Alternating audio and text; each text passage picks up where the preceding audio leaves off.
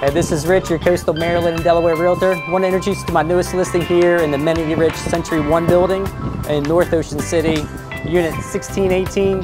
So this is a uh, multi-level unit.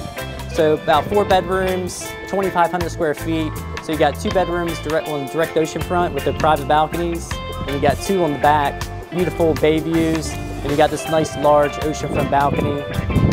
But I want to take you on a tour, so let's let's hop in and take check it out.